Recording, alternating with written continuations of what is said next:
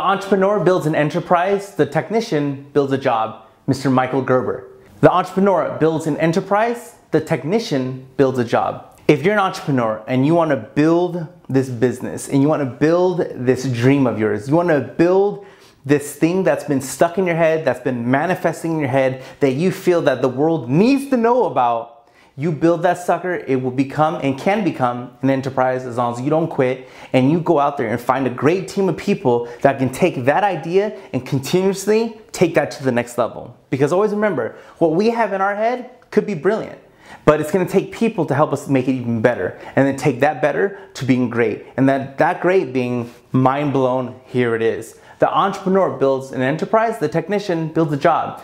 So many times my mom always told me go to school, get good grades and get a good job. And if I get a good job, then be the best at that particular job. But then my skill set really is only in that one specific job. And there's nothing wrong with that. But the entrepreneur, they're building an enterprise and they know every single facet of that business. They don't know just that one position. They can conquer and handle anything. So as you go out there today watching this video and as the video ends and you being an entrepreneur and you're ready to build something, learn each and every single part of that business so you can be the best at every single part so you can start attracting other people to help you make those parts even better.